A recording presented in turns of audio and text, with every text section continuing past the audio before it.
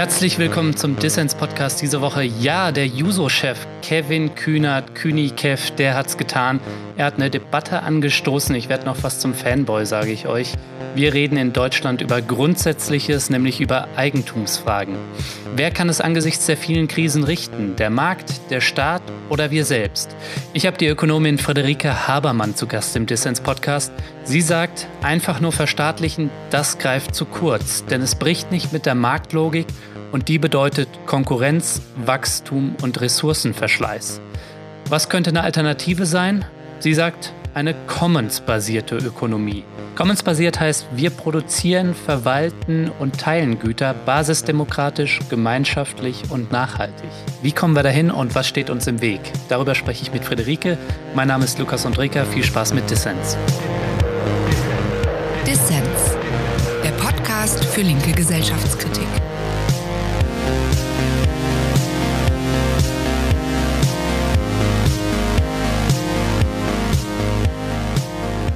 Friederike, du befasst dich viel mit Alternativen zu Krisen und Kapitalismus und damit gesellschaftliche Denkhorizonte zu erweitern. Jetzt haben wir gerade erlebt, wie der Juso-Vorsitzende Kevin Kühnert es gewagt hat, über ein Wirtschaften jenseits des Kapitalismus nachzudenken in einem Zeitungsinterview. Das Ergebnis war kollektive Hysterie bis hin zum Ruf, den Kapitalismus im Grundgesetz zu verankern. Wie hast du denn das Ganze erlebt, diese Episode? Aber ich habe mich gewundert über die starke Reaktion, die vielleicht sogar ähm, vor ein paar Jahren verhaltener ausgefallen wäre, könnte ich mir vorstellen, als es noch unsagbarer war, dass es Lösungen jenseits der Marktwirtschaft geben muss. Und im Augenblick, wo wirklich öffentlich diskutiert wird, ähm, ob Gebäude enteignet werden, ob Wohnungsgesellschaften enteignet werden, ich meine, das hätten wir uns vor ein paar Jahren überhaupt nicht vorstellen können. Und ich glaube, dass gerade deshalb um zu vermeiden, dass der Denk- und Sagbarkeitsraum gesellschaftlich noch weiter geöffnet wird, äh, die Reaktion so hysterisch war auf diese Äußerung. Mhm.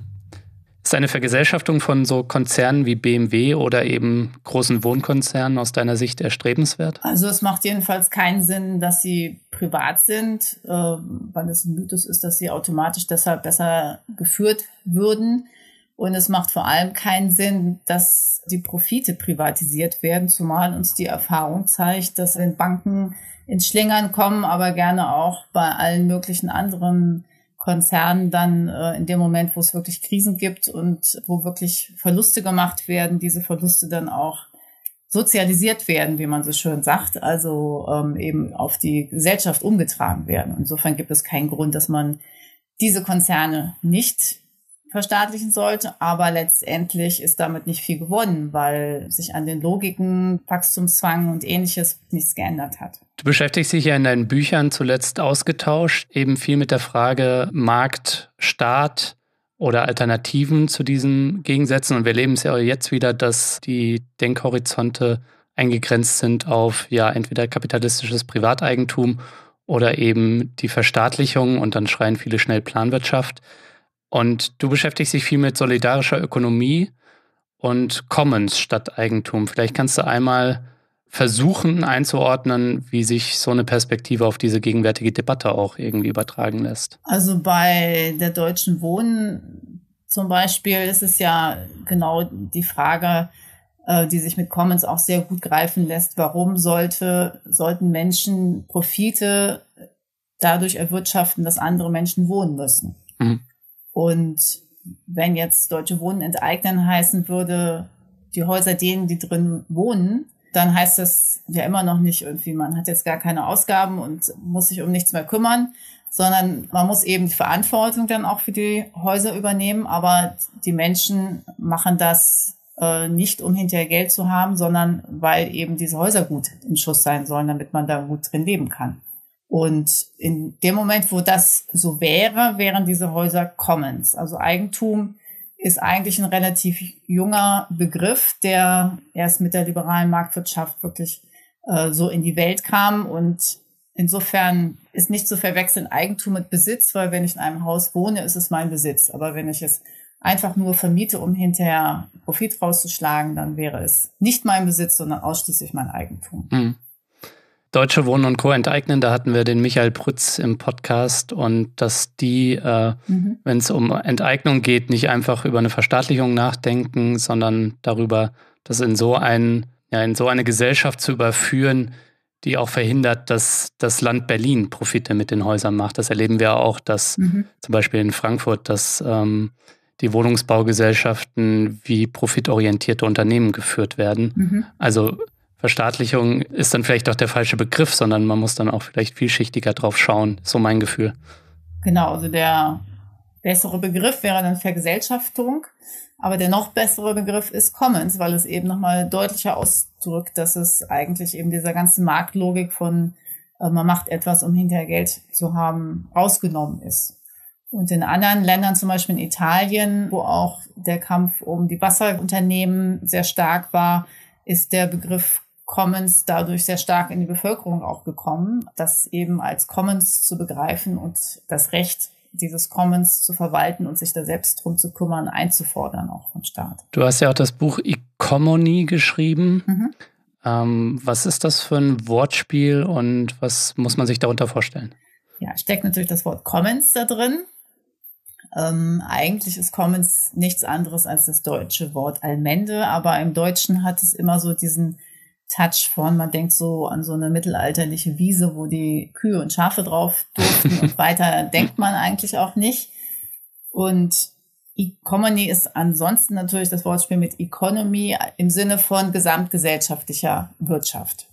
Weil wenn ich in Ansätzen alternativen Wirtschaftens mit Menschen, die bewusst Commons miteinander betreiben und auf dieser Logik miteinander was machen oder dies auch traditionell machen. Es gibt ja auch weltweit Beispiele von Commons, die traditionell noch als Commons verwaltet werden. Aber dann heißt es immer schnell, ja, das kann ja in einer kleinen Gemeinschaft funktionieren, aber es kann nicht mhm. gesamtgesellschaftlich funktionieren. Und das kann es. Und das kann man zeigen. Und da bin ich auch nicht die Einzige, die darauf hinweist. Gerade um so dieses Gegengewicht zu den kleinen Gemeinschaften zu haben, beziehe ich mich dann auch sehr gerne auf Jeremy Rifkin, der als weltweit bekanntester Zukunftsforscher und liberaler Ökonom genau das in seinem Buch Die Null-Grenzkostengesellschaft auch macht. Also der sagt, die ganze Menschheit könnte sich heute in einem globalen Commons vernetzen und so miteinander mhm. sich organisieren.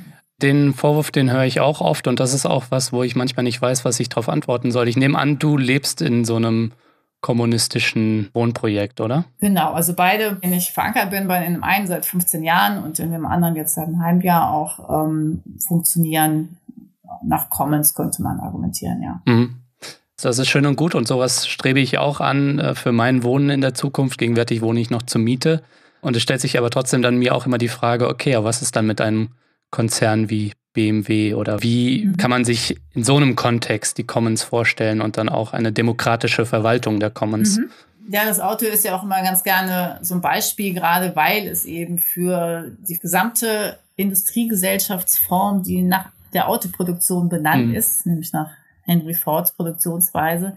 Der Fordismus ist der Ausdruck dafür, wie eigentlich unsere Gesellschaft im 20. Jahrhundert organisiert war, nämlich mit Massenarbeiterschaft, sag ich jetzt mal, ähm, Massenproduktion auf der einen Seite und dadurch, dass es eben Nachfrage brauchte, auch Massenkonsum und dadurch eben eine ziemlich breite Einbindung der gesamten Bevölkerung, allerdings auf Kosten der Umwelt, auf Kosten auch einer äh, sexistischen Arbeitsteilung damals, weil die Frauen hatten in diesem Modell weitgehend zu Hause zu bleiben, weil sonst die Arbeitsplätze nicht reichten und nicht zuletzt auch auf einer kolonialen Ausbeutung. Mhm. Und nicht zufällig haben wir noch inmitten dieser schönen Zeit zwei Weltkriege, die immer wieder äh, vorher Autobahnen und Rüstung brauchten und hinterher den Wiederaufbau. In solchen Phasen funktioniert das super gut. Längerfristig funktioniert es leider nicht gut. Deshalb können wir uns nicht einfach den äh, Wohlfahrtsstaat zurückholen. Aber ich weiche ab, sorry. Es ging darum, ähm, dass eben die Autoproduktion so prägend ist für das, was wir an Gesellschaft kennen und dass man daran aber auch ganz gut deutlich machen kann, in welche Richtung wir gerade gehen. Also die Produktion dezentralisiert sich ja sehr stark und das bringt uns eben in eine Situation, wo es jetzt nicht mehr einen milliardenschweren Autokonzern braucht, der wahnsinnige Mengen an Autos produzieren muss, damit sich das überhaupt lohnt auf diesen Fließbandketten, sondern rein theoretisch oder nicht nur rein theoretisch, sondern es ist eben auch praktisch durchaus schon mehrfach passiert, kann es eben sein, dass jemand ins Internet stellt, lass uns zusammen ein Auto konstruieren. Und dann kann es eben zusammen konstruiert werden im Internet, ganz einfach. Und es kann so konstruiert werden, dass es auch in lokalen Werkstätten zusammengestellt werden kann.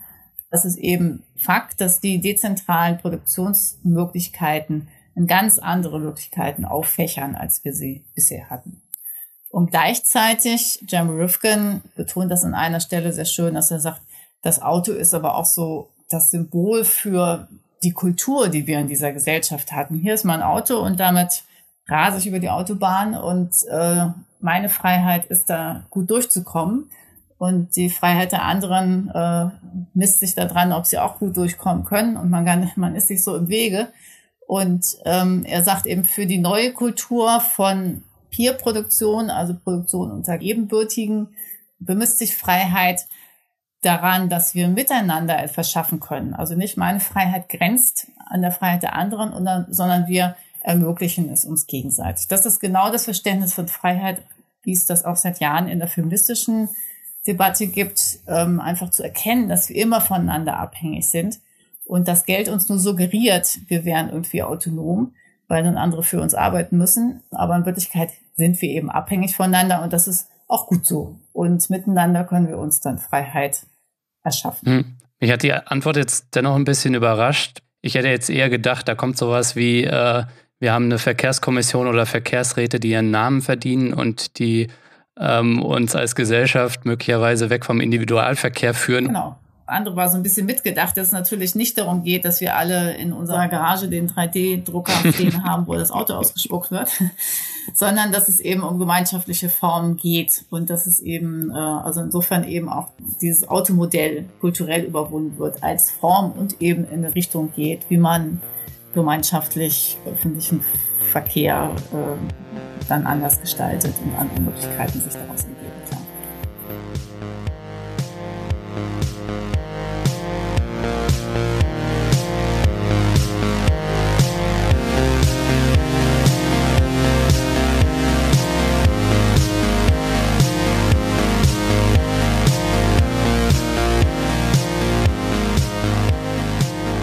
Wie immer geht an dieser Stelle mein Dank an alle Fördermitglieder von Dissens. Eure monatlichen Beiträge machen es möglich, dass wir gute Ideen für alle senden können. Damit wir Dissens wirklich dauerhaft auf stabile Beine stellen können, brauchen wir einige Menschen mehr, so etwa 500 Fördermitglieder insgesamt. Das ist viel, aber ich denke, wir können es schaffen.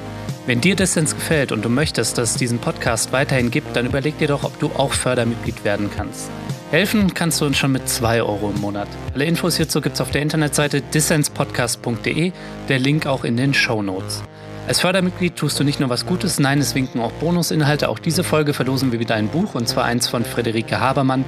Ist noch nicht ganz klar welches, aber wenn du die Chance haben willst, dann werde Fördermitglied. Zum Start von Dissens kannst du 30 Tage kostenlos reinschnuppern.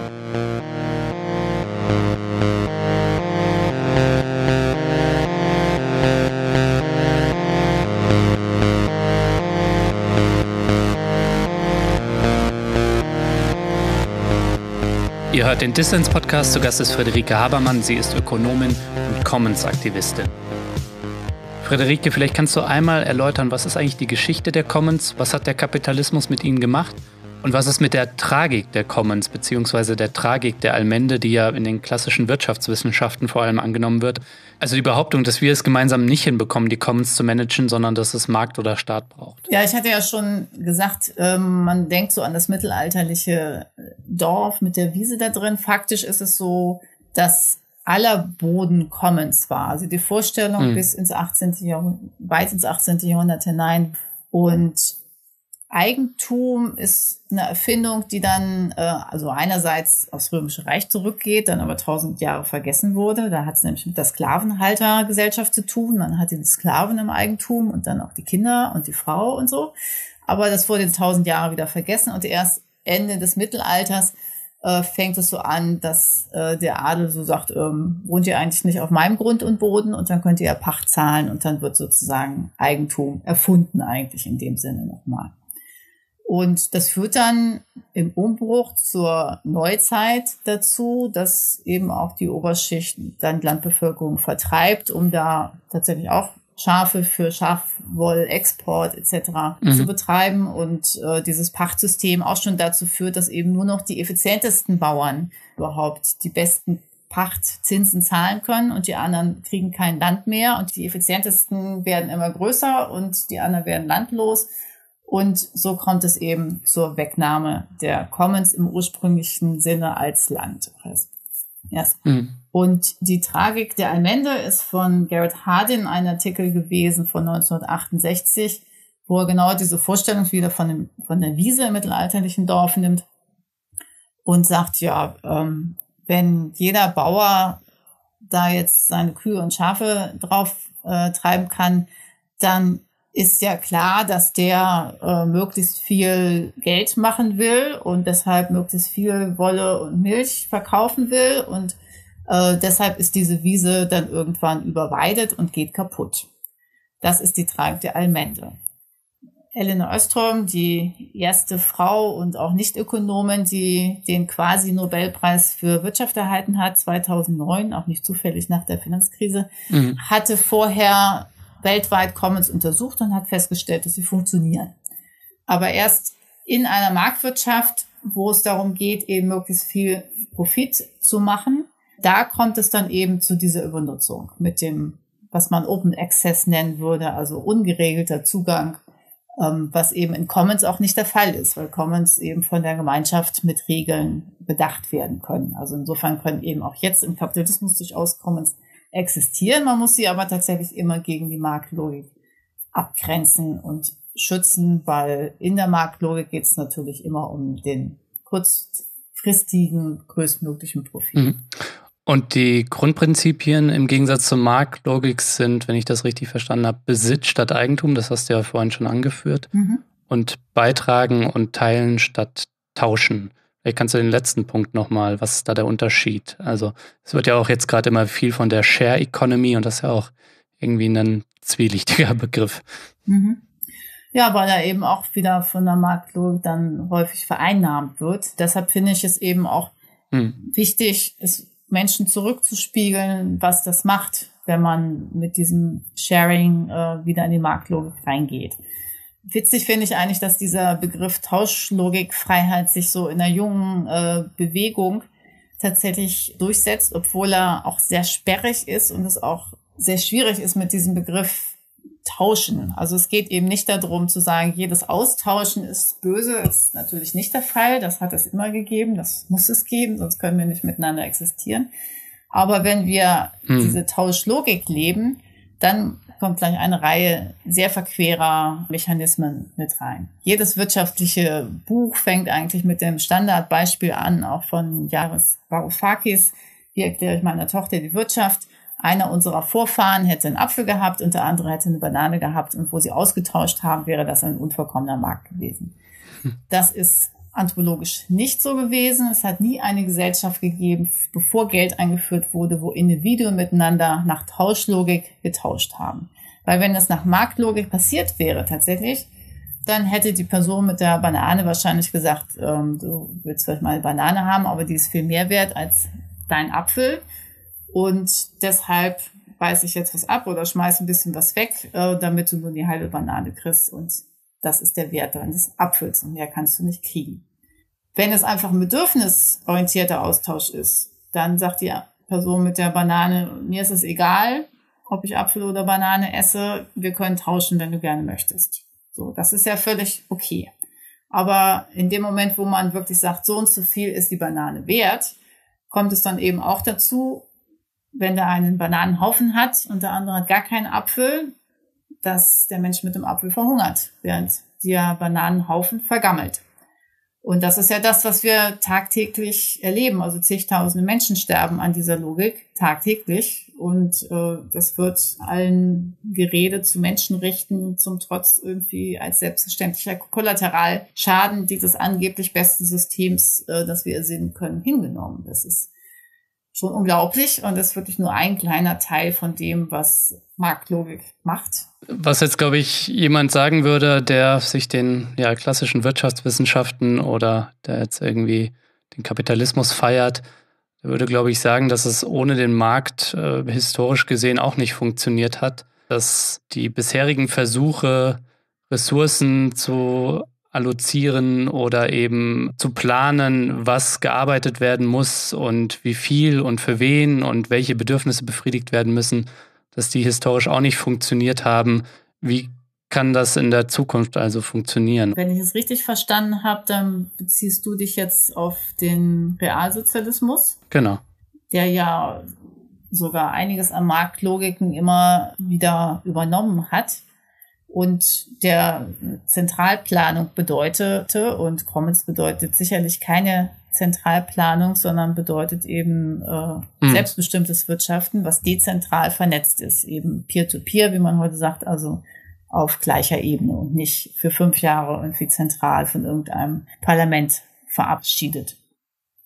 Dass das nicht geklappt hat, hat, glaube ich, sehr viel mit diesem Beitragen statt Tauschen Prinzip zu tun, weil das gab es ja nicht, sondern die fordistische Gesellschaft wurde ja eigentlich nicht angezweifelt vom Realsozialismus. Das war ja auch eine fordistische Gesellschaft, die äh, mit Massenproduktion, Massenkonsum und mit ich gehe morgens zur Arbeit und äh, darf abends noch ein bisschen Fernsehen gucken und das war's in meinem Leben auch nicht gebrochen hat und dass dann Menschen irgendwie nicht begeistert auf der Arbeit rumstehen und das als Leistungssport verstehen, kann man nachvollziehen, glaube ich, sondern es geht eben ganz wesentlich darum, dass Menschen äh, ihr Leben selbst in die Hand nehmen können und wir eben miteinander selbstbestimmt unser Leben koordinieren und dass wir vor allem mit unserer Lebenszeit machen können, was unseren eigenen Werten entspricht. Und das ist mir immer wichtiger geworden. Also äh, nicht, dass es uns im Kapitalismus an Konsum mangelt, was natürlich äh, in vielen Teilen der, der Welt der Fall ist, aber gerade in der Globalisierungsbewegung von Indigenen und anderen Bewegungen, die eigentlich sehr arm sind, habe ich eben diesen anderen Umgang, habe ich von Commons gelernt und damit auch gelernt, dass es wesentlich darauf ankommt, zum Glücklichsein, wie wir uns organisieren. Auch Marx hat ja nicht gesagt, ähm, alle sollten den gleichen Lohn haben und dann sind alle glücklich, sondern er hat sogar gesagt, wenn alle den gleichen Salär hätten, dann wäre die Gesellschaft nichts anderes als der Gesamtkapitalist. Und das war für ihn überhaupt nicht erstrebenswert, sondern ihm ging es darum, dass wir in dieser Welt uns verwirklichen können und um nicht weniger. Mhm. Wie verhält sich denn eine Commons-basierte Lebensweise zu Fragen globaler Gerechtigkeit und der Natur? Wir erleben ja, dass wir im globalen Norden von der Ausbeutung von Arbeit anderswo und auch der Ausbeutung von Natur anderswo profitieren. Mhm. Also wie schafft es diese Commons-Perspektive auch so die Perspektive von Degrowth, Postwachstum mit reinzudenken? Also wesentlich ist natürlich schon der erste Schritt, wenn wir Sachen nicht im Eigentum haben, sondern äh, besitzen, heißt es eben auch, dass ganz viele Sachen nicht produziert werden müssen. Das berühmte Beispiel Bohrmaschine die nur sechs Minuten ihres Lebens im Einsatz ist im Durchschnitt, sondern wenn Sachen gemeinschaftlich genutzt werden können, wenn es da gute Organisationsformen gibt, dann muss natürlich schon mal viel weniger produziert werden. Mhm. Entscheidender ist aber noch, dass der Großteil der Produktion heutzutage ja nicht zur Bedürfnisbefriedigung und auch nicht, damit alle ihre eigene Bohrmaschine haben, passiert, sondern es geht darum, dass alle ihre Bohrmaschine möglichst schnell wieder wegschmeißen, damit man die nächste Bohrmaschine produzieren kann. Mhm. Marianne Gronemeyer sagt so schön, wir produzieren immer für den Müllhaufen. Es geht immer darum, dass es möglichst schnell auf den Müll kommt. Das ist der Sinn der Produktion. Geplante Obsoleszenz auch manchmal direkt eingebaut. Ja, genau. Mhm. Genau. Also möglichst schnell wieder kaputt gehen mhm. oder die neue Produktgeneration. Man muss unbedingt das haben. Ähm, und das macht natürlich auch was mit einer Gesellschaft, wenn man immer in dieser Wegwerf- und Müllproduzierenden Haltung ist. Aber vor allem macht es was mit der Umwelt, ganz klar. Also das ist der zweite riesengroße Effekt, den es gäbe mit Commons. Und dann eben auch, dass die Marktlogik eben Wachstumszwang mit sich bringt. Das ist äh, natürlich wesentlich, äh, was Marx auch analysiert hat. Also nehmen wir mal an, du machst hier einen Podcast. Mhm und äh, ich weiß nicht, ob du dafür Geld kriegst, aber ich nehme es einfach mal an, du würdest dafür Geld bekommen und es für so und so viel verkaufen. Und dann äh, sieht jemand anders, Mensch, dann macht er viel damit Geld, dann mache ich jetzt auch mal so eine Art Podcast und biete das auch an und biete das billiger an. Und dann musst du auch billiger anbieten und so weiter. Und vielleicht in zwei Jahren äh, würdest du nur noch die Hälfte für den Podcast kriegen wie jetzt.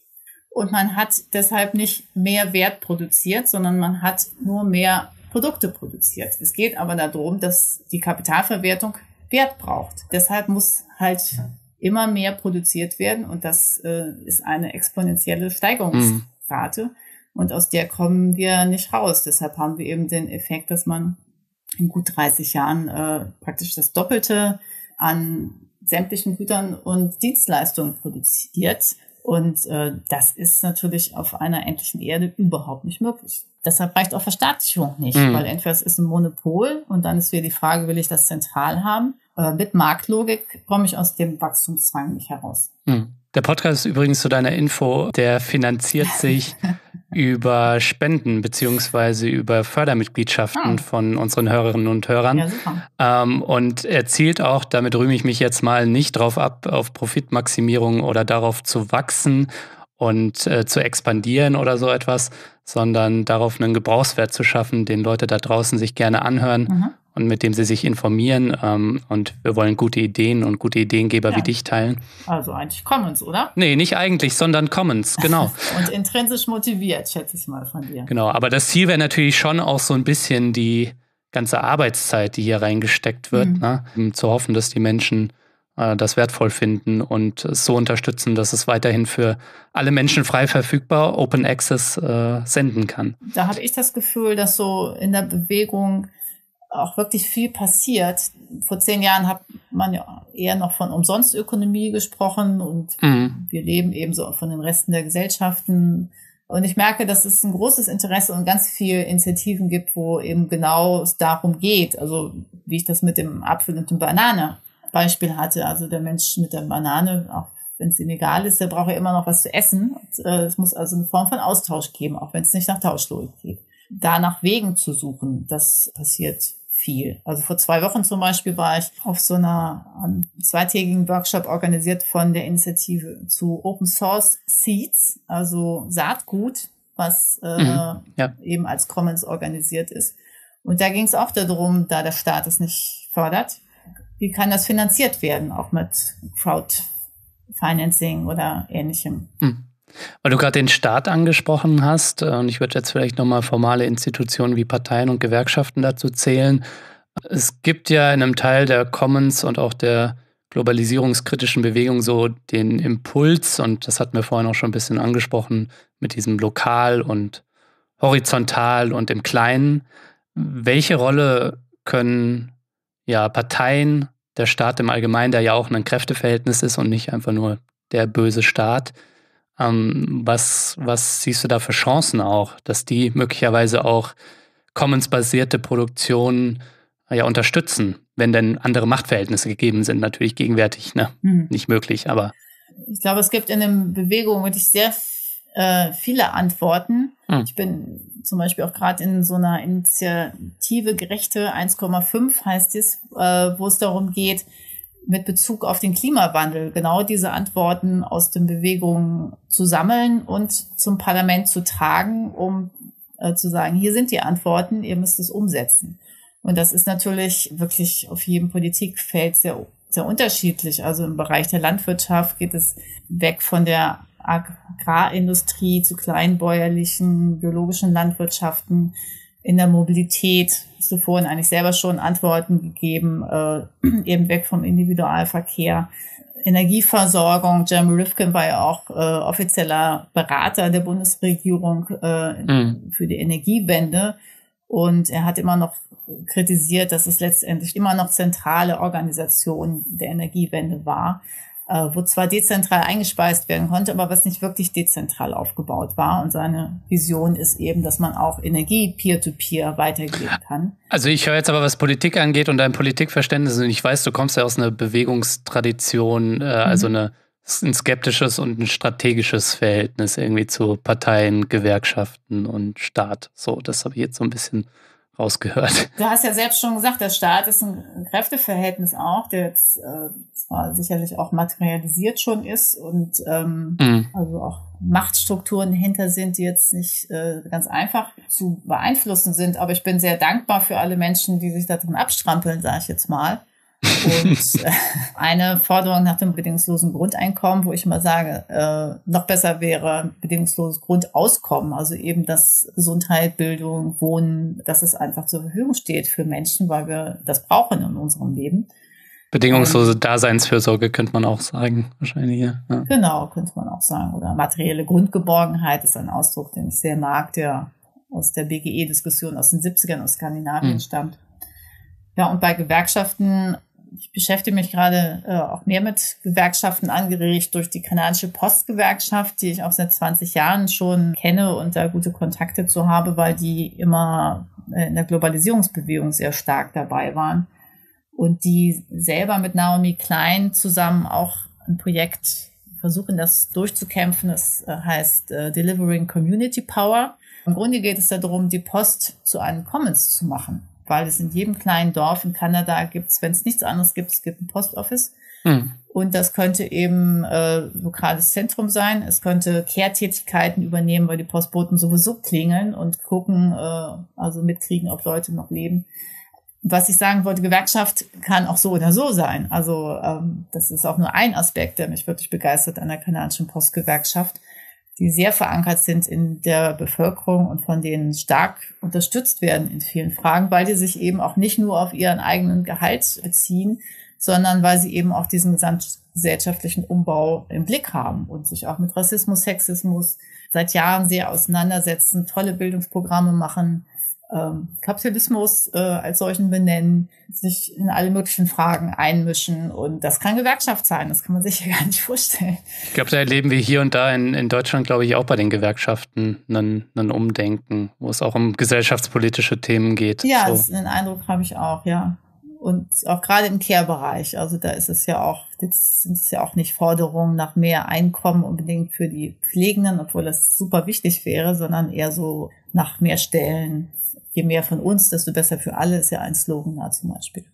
Hm. Ja, und auch Forderungen nach Arbeitszeitverkürzung, ne? Also eine, ja. ein anderes mhm. Produktions- und eine andere Lebensweise, äh, die die ökologischen Grenzen und aber auch ähm, nach einem anderen Menschen- und Gesellschaftsbild operiert, die wird auch nicht umhin kommen, darüber nachzudenken, dass wir alle weniger arbeiten. Mhm. Und das äh, ist ja, glaube ich, auch ein wünschenswertes Ziel das, da merkt man, glaube ich, auch so, dass das bei den Gewerkschaften wieder ein bisschen mehr ankommt und dass es nicht nur darum geht, um die hm. Verteilung irgendwie des Profites. Ja. Ich hatte jetzt gerade ein Interview auch mit kanadischen Postgewerkschaften, wo ich erstmal mitbekommen habe, dass viele Gewerkschaften wirklich so Profitlogiken haben, von wegen, die verdienen so wenig Lohn, äh, die lohnt sich nicht, wenn wir die vertreten, dann kriegen wir nicht genug Beiträge und deshalb ist da der Return on Investment nicht hoch genug. Okay. Also Aber um deine Frage von vorhin, dass ich jetzt nicht so super eng mit Staat und Gewerkschaften bin, nochmal zu Ende zu führen, so ganz perspektivisch einerseits, aber andererseits auch im Hier und Jetzt finde ich Rätesysteme schon sehr spannend. Also im Augenblick gibt es ja Ernährungsräte, es gibt Care-Räte,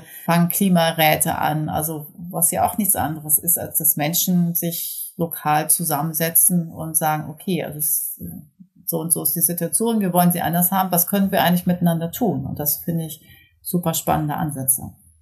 Mhm. Und interessanterweise organisieren sie sich heute um Themen und nicht mehr früher, wie früher ja. über Berufsfelder, irgendwie die Arbeiter oder Soldatenräte, so. Also so, dass irgendwie auch die unterschiedlichsten Perspektiven drin vorkommen. Stimmt. Hm. Ja. ja, ist spannend. Hm, genau. Was man allerdings auch beobachten muss, jetzt gerade irgendwie bei Mietinitiativen und so, deswegen fand ich es ja auch so spannend, dieses Deutsche Wohnen und Co enteignen, diese Initiative, weil sie wirklich so irgendwie diese kleinen Guerilla-Initiativen zusammenbringt und sowas brauchst, glaube ich, auch irgendwie was Mietinitiativen in Deutschland angeht. Und da gibt es ja auch Versuche, zaghafte, da muss es irgendwie auch eine Verknüpfung geben, die ja aber mhm. eigentlich äh, in Zeiten des Internets und der Vernetzung mhm. einfacher denn je ist. Ne? Ja, ich denke, äh, dass so die Räte, die Kehrräte und die Ernährungsräte und so, dass die sich untereinander ja schon vernetzen. Aber klar, mhm. also wenn es dann eben auch nochmal Vernetzung darüber hinaus gibt, dann ist es wirklich so, dass es natürlich schon auch Formen ausprobiert werden, die zentrale staatliche Systeme von privatwirtschaftlichen ganz zu schweigen, äh, tendenziell schon auch ersetzen können. Also jetzt äh, im Gegebenen jetzt nicht vollkommen, aber dass da schon auch Strukturen gelernt werden, die auch weiterführend sein können. Mhm. Gibt es da eigentlich irgendwie eine Verbindung? Weil ich habe so das Gefühl, jetzt zum Beispiel im Europawahlkampf und auch im Zuge der Finanzkrise, dass so keynesianische Positionen ähm, in Krisenzeiten zu investieren, auch staatlich äh, Geld in die Hand zu nehmen, um zum Beispiel einen, äh, eine grüne Transformation der Wirtschaft irgendwie zu befeuern. Green New Deal wäre jetzt so ein Stichwort. Kann das irgendwie ein Sprungbrett dann auch zu einer Commons-Ökonomie sein oder liegt das dann irgendwie doch weit auseinander? Ja, es muss ein Sprungbrett zu einer commons-basierten Wirtschaft sein, weil ich ja hm. vorhin hm. schon angedeutet habe, dass die keynesianische Wirtschaftspolitik wirklich sehr kurzfristig nur funktioniert. Hm und dann massiv in Schlingern kommt. Und andererseits ist es natürlich auch so, dass man jetzt mit Commons und tauschlogikfreien Wirtschaften nicht morgen gesamtgesellschaftlich äh, das mhm. umsetzen kann. Insofern würde ich mal ganz pragmatisch sagen, ja, es muss erstmal in eine Richtung von Green New Deal gehen, in dem Sinne, dass der Staat eben versucht, alles zu fördern, was es da irgendwie gibt. Aber es darf nicht bedeuten, weil New Deal ja eigentlich dafür steht, der Ausdruck aus der Wirtschaftskrise äh, Anfang der 30er. Äh, der Staat greift ein und dann geht das Wirtschaftswachstum wieder richtig los. Und das ist natürlich gleichzeitig wieder kontraproduktiv, weil Wirtschaftswachstum an sich, den Punkt hatten wir schon, eben einfach zu ressourcenverschlingend ist, hm. als dass es einfach so gehen kann. Das ist ja durchaus auch eine Kritik daran, äh, zu glauben, wir können jetzt alles in erneuerbare Energien machen und äh, kurzfristig jedenfalls äh, müssen wir dann nichts in unserem Lebensstil ändern, sondern es muss eben schon auch mit anderen Logiken einhergehen. Ich bin nicht diejenige, die sagt, wir müssen unbedingt verzichten, weil zurück zur Beispiel Bohrmaschine, ich finde es jetzt nicht ein Verzicht, wenn wir uns die teilen, wenn wir es nur sechs Minuten äh, anhaben in ihrer Existenzweise. Aber es muss eben ganz andere Logiken geben, die dann weiterführen können, weil es mit der keynesianischen Wirtschaftspolitik einfach nicht lange hm. gehen kann. Oder wir müssen das, was jetzt vielen als Verzicht vorkommt, schmackhaft machen, weil es möglicherweise irgendwie die Verbindung zu Menschen in der Nachbarschaft irgendwie stärkt oder so. Mhm. Und weil es vielleicht auch was Schönes sein kann. Also ich habe letztens zum Beispiel gelesen, das Auto wird im Schnitt eine Stunde am Tag genutzt und dann steht es nur noch rum. Ja. und ja. verschlingt Platz ja. in unseren Städten. Genau. So. Ja, und die haben übrigens Commons, ne? Also die Autos kriegen Fett Commons Parkplätze. Ja. Manchmal muss man inzwischen was für zahlen, aber. Stimmt, ja, so habe ich das auch noch nicht betrachtet. Sich manche Obdachlose drüber, manche Obdachlose drüber freuen. Ja. Ne? Stichwort globalisierungskritische Bewegung. Du warst ja von Anfang an dabei, sogar bei den mhm. Zapatistas mhm. in Mexiko. Mhm. Wo siehst du die globalisierungskritische Bewegung heute? Hat sich das schon weiterentwickelt und was lässt sich aus Niederlagen lernen aus den vergangenen?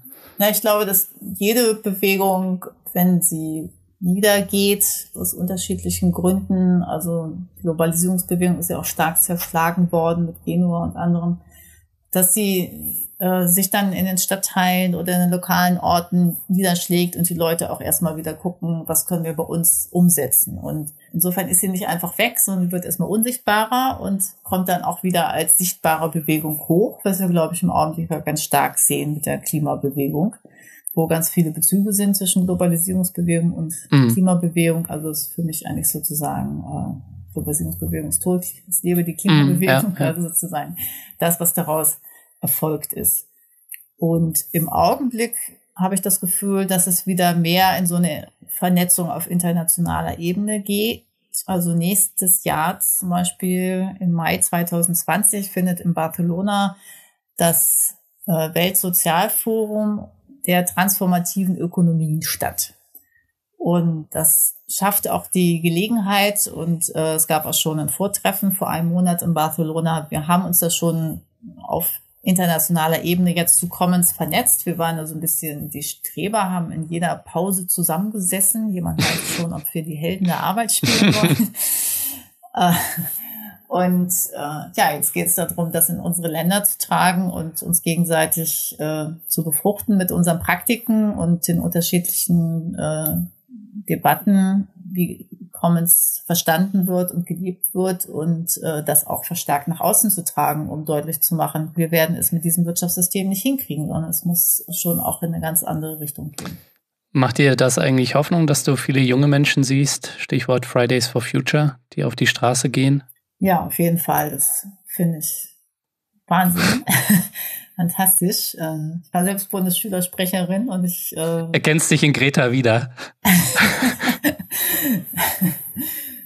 nee, obwohl ich zu den Friedensdemonstrationen habe ich dann auch an die Schule geschrieben, warum ich leider nicht kommen kann und so. Es hat keine Bewegung ausgelöst damals. ähm, aber ich meine, also wir hatten damals immerhin schon ein paar tausend Demonstrierende gegen die Abi-Deform oder so, wo ich dann Jahre später immer dachte, ja, damals hatten wir Bewegung und äh, Schülerinnenbewegung. Wenn ich jetzt denke, äh, also das wäre auch in den 80ern völlig unmöglich gewesen, dass jeden Freitag nicht zur Schule gegangen wird und gestreikt wird. Also es ist, es sind so viele Sachen, die wir uns vor ein paar Jahren überhaupt nicht vorstellen konnten. Und äh, ich glaube, es ist gut, sich das bewusst zu machen, um auch dieses Zeitfenster äh, uns bewusst zu machen. Das ist eine, eine historische Erkenntnis, dass Menschen in historischen Umbruchssituationen das immer selber nicht mitkriegen, dass sie das gerade sind, sondern dass man das erst immer hinterher also richtig erkennt. Ja, und das wirklich als Zeitfenster zu sehen, dass wir jetzt aktiv werden sollten und jetzt versuchen sollten, die Welt umzubauen, weil wer weiß, was passiert. Also man muss auch nur heute wieder in die Nachrichten lesen, irgendwie passiert doch ein Krieg aus Versehen. Das sind ja so Sachen, die man gerne auch mal ausblendet und ich glaube, wir sollten einfach die Zeit nutzen, die wir haben. Schöne Worte, Change by Design statt Change by Disaster. Das hat mir Ulrich Brandt mal in einem Gespräch gesagt. Mhm. Friederike, danke fürs Gespräch. Bitte sehr, danke dir.